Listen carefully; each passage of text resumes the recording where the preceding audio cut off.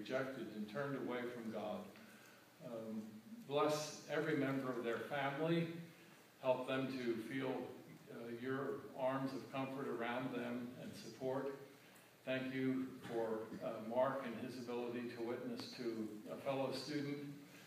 Please touch that young man, and I pray that you would help him to uh, come out of depression because he realizes that there is a God who has loved him and has provided for his redemption.